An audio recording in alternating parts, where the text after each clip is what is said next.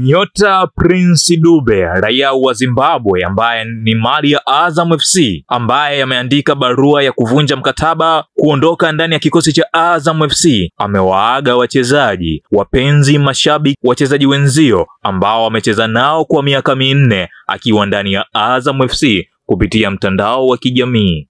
Dube amewashukuru sana wachezaji wenzie, viongozi, mashabiki na technical staff wote kwa ushirikiano waliomuonesha kwa kipindi chote akiwa ndani ya Azam FC.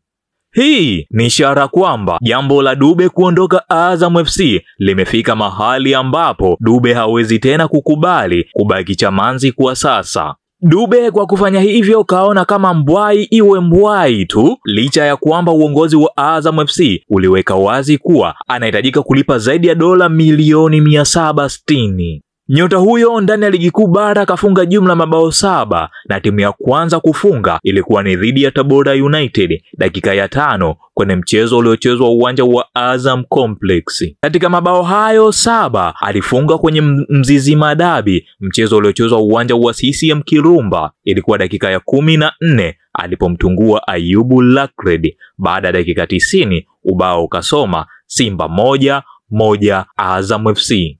Naitwa Lunyamadi Zomliuka, a boy from Jombe place to.